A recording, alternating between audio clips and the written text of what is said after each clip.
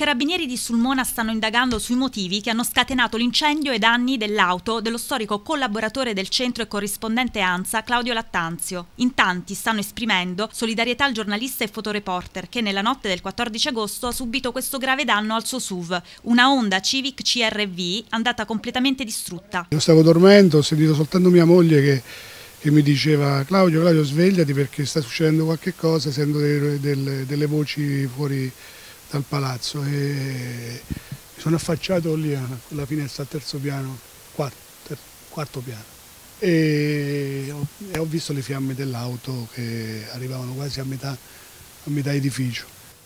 Di certo non, non, si è trattato di un'autocombustione perché eh, la macchina era ferma qui da, eh, da un giorno giorno fermo, dopo di notte alle 3 con la temperatura che si era abbassata, non era la temperatura calda dei giorni scorsi e allora è stato molto improbabile il, il cortocircuito. Sta seguendo delle inchieste particolari in questo momento? Ma io abbiamo fatto la sera stessa, con, la notte stessa con i carabinieri un po' il punto della situazione, eh, cercando un po' di capire se eh, qualcuno qualcosa poteva aver dato fastidio alla, la mia attività eh, avesse potuto dare fastidio a qualcuno o qualcosa.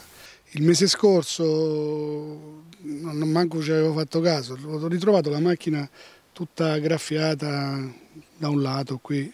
I vicini riportano che hanno udito un forte boato e visto le fiamme intorno alle 2.30, a seguito del quale sono scesi nel cortile dal condominio, dove erano parcheggiate anche le loro vetture. Uno di loro, che vive al primo piano, ha immediatamente dato l'allarme. Ho visto il fuoco davanti alla macchina e anche sopra la macchina. Cioè la parte anteriore era già incendiata, dopodiché ho chiamato i carabinieri che a loro volta hanno chiamato i vigili del fuoco.